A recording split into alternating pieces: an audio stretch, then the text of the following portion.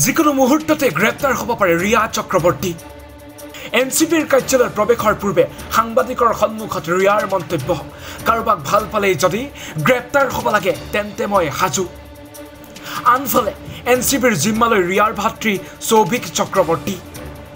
সৌভিকক গ্ৰেপ্তাৰৰ পিছতে এতিয়া পোহৰলৈ আহিছে ন ন তথ্য যি তথ্যই আচৰিত কৰি তুলিব আপোনাক। পাঁচ ড্ৰাগছ ডিলাৰৰ সৈতে সৌভিকৰ আছিল সু সম্পৰ্ক নামী দামী চেলিব্ৰিটিৰ ড্ৰাগছ পাৰ্টিত উপস্থিত থাকে সৌভিক চক্ৰৱৰ্তী। সুশান্ত সিং ৰাজপুতৰ মৃত্যু আত্মহত্যাৰ পৰা এতিয়াৰ ড্ৰাগছৰ কানেকশ্যনলৈ ইয়াৰ মাজতে নাৰ্কটিক্স কণ্ট্ৰল ব্যুৰই শুক্ৰবাৰে ৰিয়াৰ ভাতৃ সৌভিক চক্ৰৱৰ্তী আৰু সুশান্তৰ হাউচ মেনেজাৰ চেমুৱেল মিৰাণ্ডাক গ্ৰেপ্তাৰ কৰিছিল। শনিবাৰে আদালতে ন ছেপ্টেম্বৰলৈকে এন চি বিৰ জিম্মালৈ প্ৰেৰণ কৰিছে ৰিয়াৰ ভাতৃ সৌভিক চক্ৰৱৰ্তী। কিন্তু কিয় আৰু কেনেকৈ জালত পৰিল ৰিয়াৰ ভাতৃ সৌভিক চক্ৰৱৰ্তীৰ? শেহতীয়া কেইটামান দিনত ধাৰাবাহিকভাৱে লিক হোৱা হোৱাটছএপৰ স্ক্ৰীনশ্বট আৰু এন চি বিৰ সোধা পোছাত এয়া স্পষ্ট হৈ পৰিল ৰিয়াৰ ভাতৃ সৌভিকৰ সম্পৰ্ক আছে ড্ৰাগছ পেডলাৰৰ সৈতে।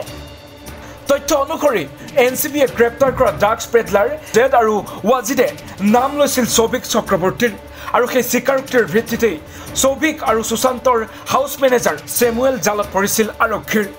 আৰক্ষীৰ হাতত পৰা হোৱাটছএপ স্ক্ৰীনশ্বটৰ আধাৰত আৰক্ষী নিশ্চিত হৈছিল যে ড্ৰাগছ পেডলাৰৰ সৈতে সু সম্পৰ্ক আছে ৰিয়াৰ ভাতৃ সৌভিক চক্ৰৱৰ্তীৰ।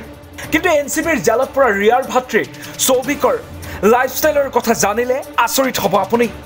বয়সতকৈ চাৰি বছৰ ৰিয়াতকৈ সৰু সৌভিকৰ বহু সুন্দৰী মডেল আৰু অভিনেত্ৰীৰে আছে সু সম্পৰ্ক বয়সত যদিও বা ৰিয়াতকৈ চাৰি বছৰে সৰু সৌভিক তথাপিও ৰিয়াৰ সৈতে সৌভিকৰ আছে ভাল বণ্ডিং। কিছুদিন পূৰ্বলৈকে কলকাতাৰ এগৰাকী সুন্দৰী মডেলক ডেট কৰি থকা ৰিয়াৰ ভাতৃ সৌভিকক দেখিবলৈ পোৱা যায় বলিউডৰ বহু নামী দামী চেলিব্ৰিটিৰ পাৰ্টিত। চৌবিছ বছৰীয়া সৌভিকক ইতিপূৰ্বে বহু ড্ৰাগছ পাৰ্টিত অংশ লোৱা এগৰাকী বন্ধুৰ এটা হোৱাটছএপ চাটৰ পৰা পোহৰলৈ আহিছে। অতি কম বয়সতে সুশান্তৰ দুটাকৈ কোম্পানীৰ ডাইৰেক্টৰ হৈছিল সৌভিক। ৰিয়া চক্ৰৱৰ্তীয়ে দুহেজাৰ ঊনৈছ চনৰ ছেপ্টেম্বৰ মাহত আৰম্ভ কৰিছিল দুটাকৈ কোম্পানী আৰু সেই কোম্পানী দুটা আৰম্ভ কৰিছিল ৰিয়াই সম্পূৰ্ণ সুশান্ত সিং ৰাজপুতৰ ধনেৰে। যি দুটা কোম্পানীৰ ডাইৰেক্টৰ পদ লাভ কৰিছিল মাত্ৰ তেইছ বছৰ বয়সতে ৰিয়াৰ ভাতৃ সৌভিক চক্ৰৱৰ্তীয়ে। আৰু এতিয়া ই ডিৰ সন্দেহ। সৌভিকে এই দুয়োটা কোম্পানীৰ জৰিয়তে সৰকাইছিল সুশান্তৰ পোন্ধৰ কোটিকৈ ধন। সুশান্তৰ দুটাকৈ কোম্পানীৰ ডাইৰেক্টৰ পদ লাভ কৰাৰ কেইটামান দিনৰ ভিতৰতে সৌভিকৰ সলনি হৈ পৰিছিল লাইফষ্টাইল।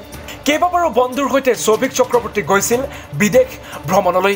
অন্যহাতে আত্মহত্যাৰ পৰা ড্ৰাগছ কানেকশ্যনলৈ সুশান্ত সিং ৰাজপুতৰ মৃত্যুৰ তদন্তত এতিয়া ন ন তথ্য পোহৰলৈ আহিছে।